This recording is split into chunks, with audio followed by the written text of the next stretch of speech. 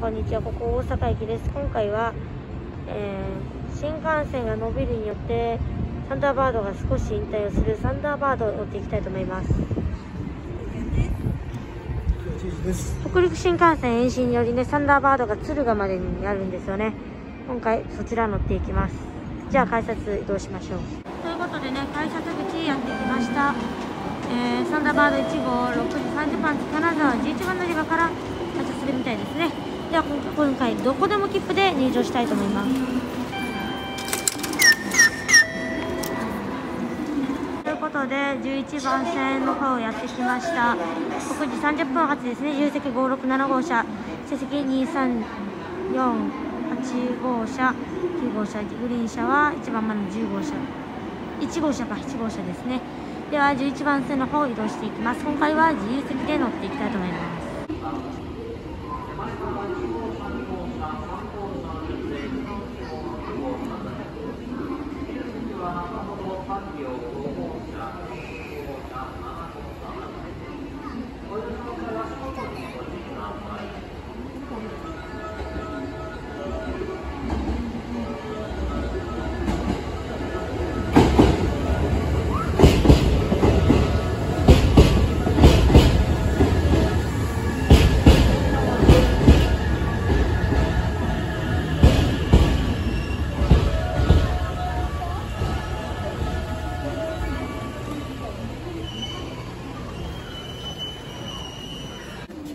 ということで自由席に乗っていきます。自由席なんでどこでも座って OK です。で適当にこの辺に座っていきます。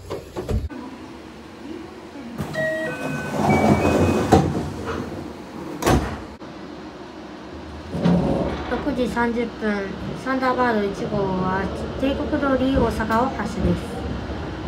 次は3分後新大阪に停車します。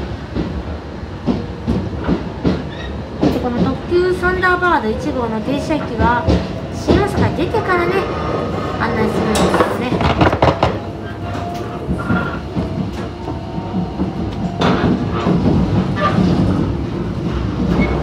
大阪発車後列車は淀川を渡ります。大阪駅始発駅である大阪駅を、えー、なか通らない通らなかったら淀川はこう渡らないんですよねナーバードは大阪駅が始発なので淀川を渡ります東海道線もね大阪塚本間淀川を渡ります。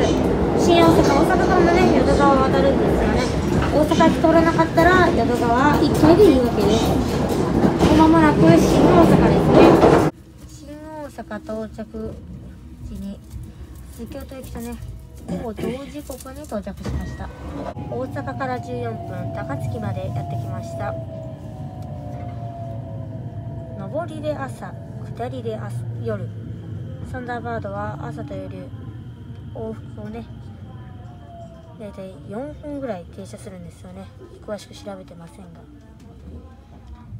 また春かごとかも一部止まるんですよね。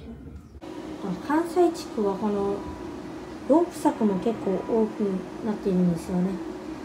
高槻や大阪駅の8番とか六甲道とかもこんな感じになっています。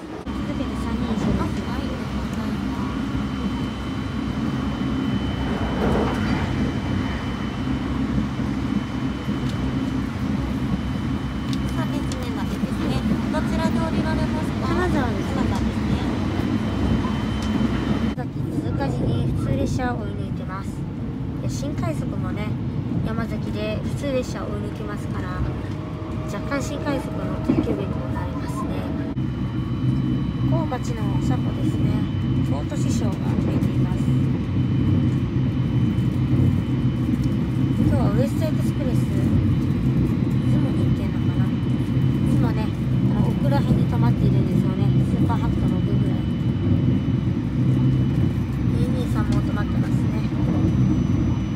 いうことで大阪から28分京都までやってきました。停車駅新大阪高槻。新快速の停車駅。新大阪高槻。新快速の大阪京都の所持時間28分。サンダーバード特急列車の、えー、新大阪京都の所持時間28分。ここまで新快速と同じ停止同じ所要時間なのに新快速乗ると乗車券570円だけ特急乗ると自由席660円かかりますどっちを使うかは皆様ですね私は快適お座席をお買い上げにしてのご利用はご列車は山科を通過しています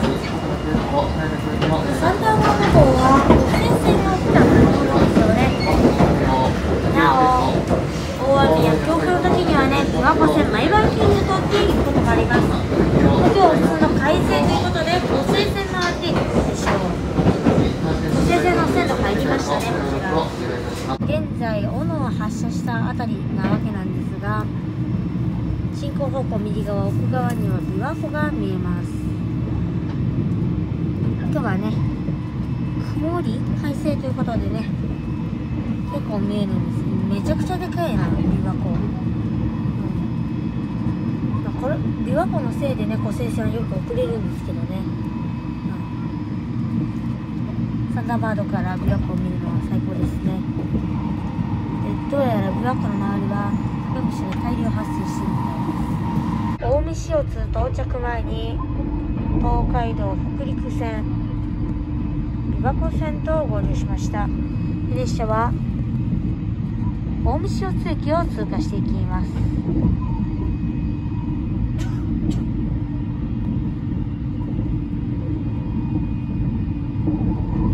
次の次がね敦賀ということでもう間もなく敦賀着くのではないでしょうか。大阪から1時間27分敦賀までやってきました。敦賀では7分8分乗り換えで普通ワンマン福井行きと乗り継げます。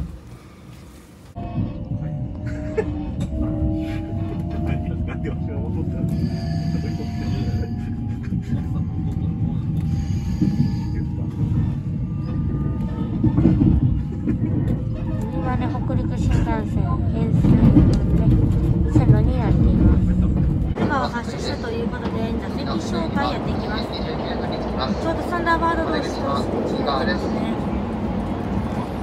こちらロッカー 3K 一番前に座っているとことで一席一つコンセントがついていますそして回すタイプでしょうかこちら背面ケーブルやっぱり一番前なので2角になっていますでインアップのもね出します出すことができます。ねここの磁石でくっつくんですが知らない人が、えー、この回しでガタガタうるさいのでしっかり磁石締めましょうでリクライニングこの黒いボタンを押して倒します。で差はこれだけ出ますね。この間に肘掛けを下ろしたり探したりすることもできるんですこにはライトですね先物とか作業するときには便利かもしれませんこれは物入れです。でねついいカーテンは横からスライドするタイプのカーテンなんですね来たのは歩行者と歩行者の境目です歩行者と歩行者の間には A バスがついていますここでハイ停電をすることができます。で、ハイ出るときはですね、そこを押したらドアが開きます。ちゃんとね、開いてるかね、という電話機のね、SOS ボタンがついています。6号車と7号車の間にはトイレがあるんですね。男子便と手男子同様のトイレがついています。ゴミ箱もね、ついてますね。なんとこの列車、停車駅新大阪、高槻、京都、敦賀、福井だけの停車駅のパターンで、結構早いパターンなんですよね。最速立ちの列車に2個停車駅を増やしただけです。ここに自販機があったと思います。自販機あったんですが、故障中なんですよね。この列車故障ばっかりですね。車椅子のトイレも故障していました大阪から2時間ぐらいで福井までやってきました。福井では3分ほど停止して再び発車します。次は終点金沢です。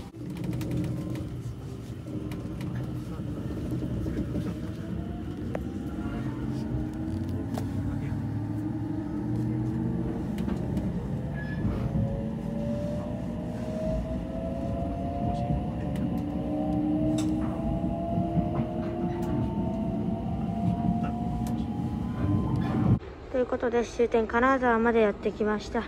この後どうやら引き上げ線に上げるそうです。ではこの動画はこれにします。ありがとうございました。バイバイ。